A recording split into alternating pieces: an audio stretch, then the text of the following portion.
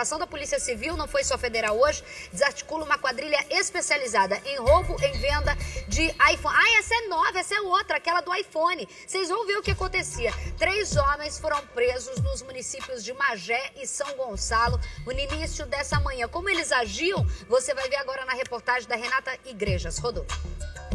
Os policiais cumpriram mandados de prisão em São Gonçalo e Magé. O objetivo era desarticular uma organização criminosa especializada em roubo e venda de iPhones.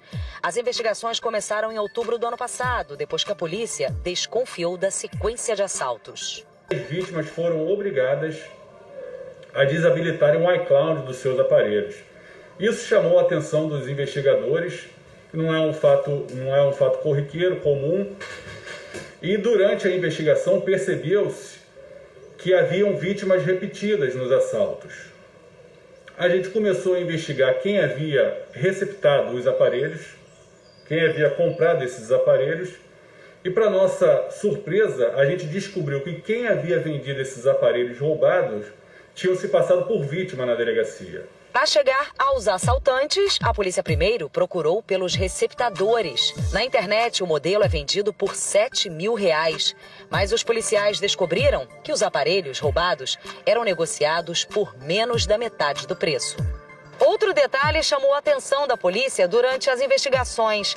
Uma das supostas vítimas era quem negociava os aparelhos roubados.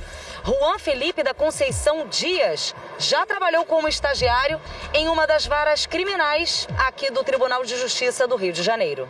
A gente conseguiu perceber diversas mensagens dele com os compradores dos aparelhos, em onde ele sempre afirmava: Não, você pode confiar em mim, o telefone é de procedência boa, eu sou estagiário do Tribunal de Justiça, então ele usava isso como uma forma de conseguir vender os aparelhos sem levantar suspeita.